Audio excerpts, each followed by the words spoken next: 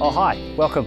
Welcome to the Seedy Gardener. Today we're planting out some seedlings, a key skill to learn in veggie gardening. So grab your punnet and you want to give it a little bit of a loosen up, get rid of that tag.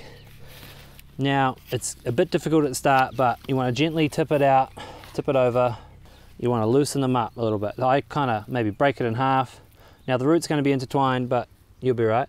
And plonk that down there now for spacing, you'll see these holes here. I've used this, which is a little thing that I made just from some scrap wood, and uh, it just helps get my spacings out. And with spinach, because we pick this all the time for smoothies and salads, I can plant these quite close, but if I wanted them to get big, I'd go every second hole, but I'm gonna go every hole. You got your pilot hole dug, but you want to dig a little bit deeper, free it up, and then you can chuck it in.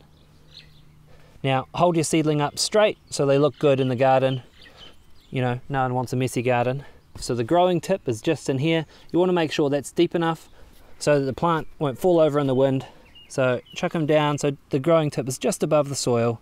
Right, now some of these are going to get nailed by slugs. So I always keep a few. If you've got a spare few spare, just keep them aside.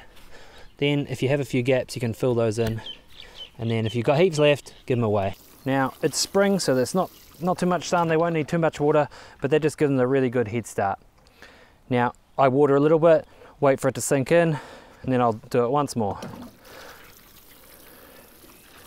Now they're gonna look a little bit hammered, but give them one or two days and they'll be up and looking perky as ever. Awesome, thanks for watching.